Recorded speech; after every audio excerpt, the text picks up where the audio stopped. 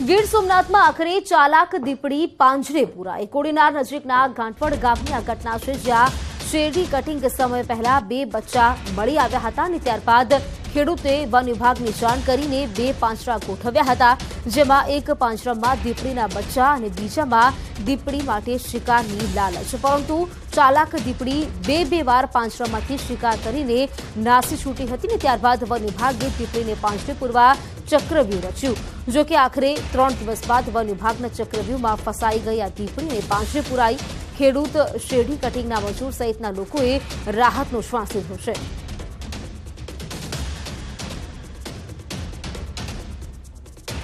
તો સ્થાનિક સ્વરાજની ચૂંટણી પહેલા બદલી નગરપાલિકા ચીફ ઓફિસરની બદલી કરવામાં આવી છે. ખેડા જિલ્લાના ત્રણ ચીફ ઓફિસરની જિલ્લા બહાર બદલી કરાઈ.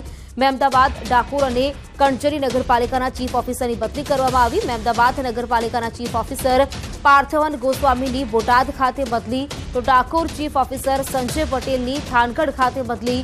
કણચેરી ચીફ ઓફિસર રાજુ શેખની જસદણ ખાતે બદલી કરાઈ છે. આ ત્રણેય નગરપાલિકામાં યોજવાની છે ચૂંટણી.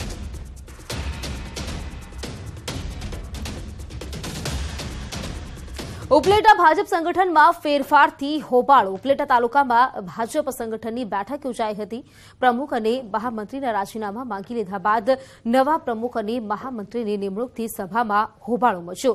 રાજકોટ જિલ્લા પ્રમુખે સંગઠનમાં ફેરબદલ કરવા પ્રમુખ રમણીકભાઈ લાડાણી અને બંને મહામંત્રીના રાજીનામા માંગ્યા હતા. તાલુકા ભાજપ સંગઠનના પ્રમુખ તરીકે કિરીટભાઈ જાવિયા તેમજ મહામંત્રી તરીકે નાથાભાઈ સુવા અને મિલનભાઈ મોરાણીની નિમણૂક કરવામાં આવી. આ નિર્ણયથી કેટલાક કાર્યકરો નારાજ થતા સભામાં હોબાળો થયો હતો.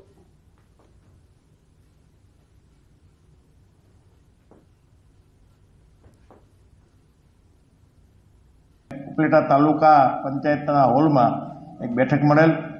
એ બેઠકમાં પ્રમુખ તરીકે કિરીટભાઈ જાવિયા, મહામંત્રી તરીકે નાથાભાઈ સુવા અને બીજા મહામંત્રી તરીકે મિલનભાઈ મુરાણીની નિમણૂકનો પત્ર. ના કોઈ પણ જાતનો વિવાદ નહોતો. બે મંત્રીઓના પોતાના સામાજિક અને કૌટુંબિક કારણો અને મારે અમેરિકા જવાનું હોવાથી અમે રાજીનામા આપે તો બુલેટિનમાં અત્યારે ફક્ત આટલું જ. મને આપશો